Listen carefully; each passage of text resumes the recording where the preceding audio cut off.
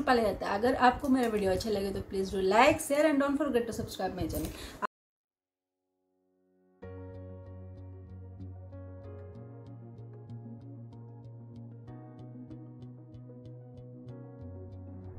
rice को 20 से 30 minute तक भिगो कर रखेंगे। जीरा राइस बनाने के लिए हमें चाहिए दो तेजपत्ता तीन piece green chilli three spoon जीरा दो स्मॉल पीस दालचीनी, दल, दस गोल मरीच और एक जायफल।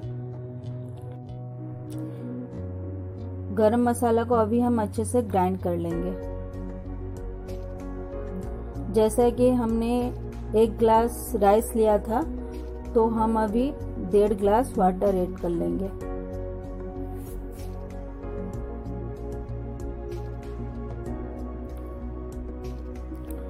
अब हम प्रेशर कुकर में दो फुल स्पून तो घी लेंगे और घी को अच्छे से गर्म होने के लिए देंगे।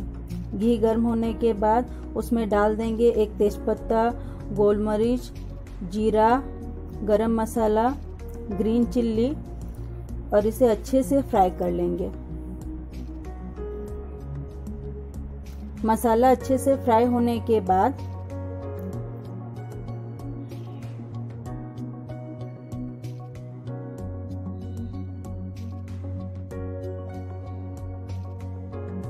जैसे कि हम इसमें घी से फ्राई किए हैं, अब अगर चाहें तो इसमें रिफाइन ऑयल भी ऐड करके फ्राई कर सकते हैं।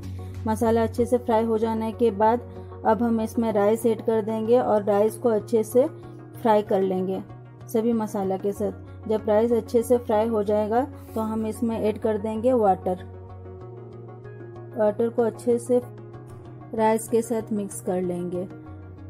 इसके बाद हम टेस्ट के अनुसार इसमें सॉल्ट डाल देंगे।